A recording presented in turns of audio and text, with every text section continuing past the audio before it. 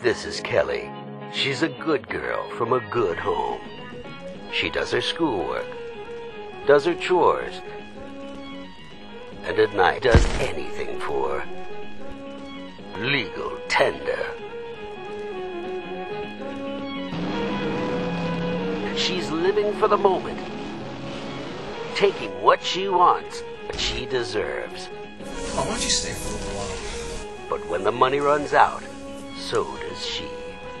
Legal tender. It's what she wants. It's what she gets. It's what she is. Hers is a tawdry world where life is cheap and anything is for sale. This film pulls the sheets back to reveal the seedy underbelly of America, where one language is spoken violence. From wholesome households to roadside motels, the seed of the counterculture has borne bitter fruit. Now a young girl lives the godless consequences of long haired immorality. She's finding out the rough and hard way there's no such thing as free love. It's got to be paid for in blood, tears, and legal tender. When this suburban strumpet sets a deadly game of revenge in motion, brother battles brother. Eddie's out looking for me. Guy doesn't want to give up.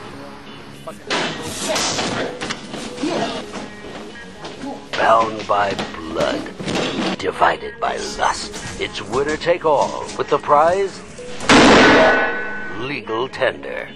Rated R.